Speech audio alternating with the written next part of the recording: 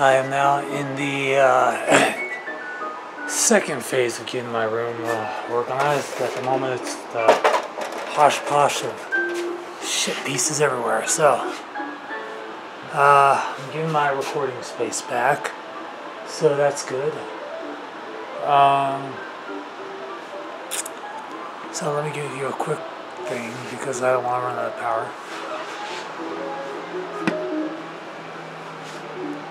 Oh yeah, I moved uh, Golden Freddy uh, right here, so he's gonna be just creepily staring at me like no one's business. Look at that. Isn't that the face of someone you want to love? Um, so, all that is random crap. There's my desk. Right there.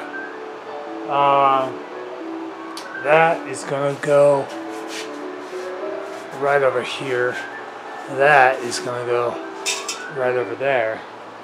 All that is gonna go against that wall. And my uh, temporary bed right there. It's gonna go right there.